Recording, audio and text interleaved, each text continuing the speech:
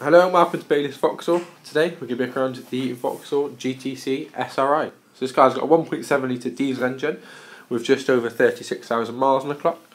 Got a, th- a front and rear parking sensors which make it easier to get in and out of the tight spaces. The Baylis service plans are available as well as a range of finance and extended warranty options. We look in the boot, got the split fold and rear seats for convenience so you can customise it to suit.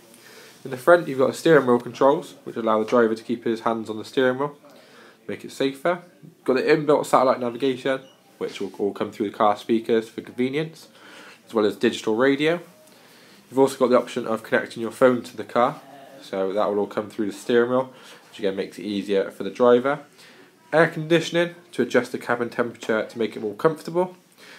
Then we've got the part leather seats. Have a look in the back.